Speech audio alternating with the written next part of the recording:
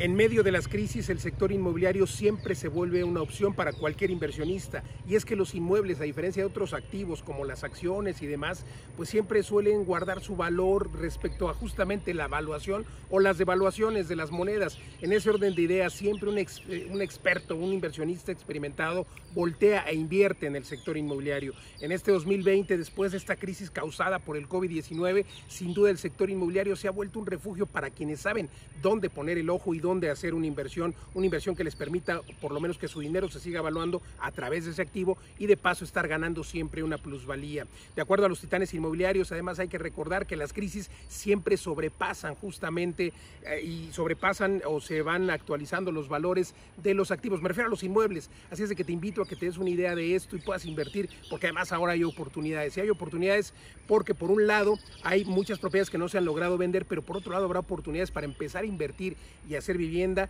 en virtud de que en la demanda prácticamente anual de vivienda es de un millón de viviendas en nuestro país. Y este 2020 se estima que solamente se van a construir 200 mil, así es de que hace falta vivienda, pero no cualquier tipo de vivienda. Para los desarrolladores tendrán que buscar vivienda de la asequible, de la vivienda que se vende, por ejemplo, en la Ciudad de México 3 millones más o menos, en otras ciudades vivienda de 2 millones y por supuesto de un millón, pero siempre céntrica, siempre dentro de las ciudades. Además el mercado está cambiando, después de esta crisis sin duda las personas ya no buscarán gimnasios, ya no buscarán lugares donde haya densidad social o densidad de personas, sino buscarán lugares más tranquilos, incluso las zonas rurales ahora podrán volver a despertar gracias justamente o podrán volver a resurgir gracias a que las personas estarán buscando hacer home office. Por cierto, el home office llegó para quedarse. ¿Y qué decir del sector inmobiliario industrial que con la entrada en vigor el próximo primero de julio de este 2020 eh, en obviamente Norteamérica, México, Estados Unidos, tendrán sin duda un detonante para el sector inmobiliario industrial. Es ahí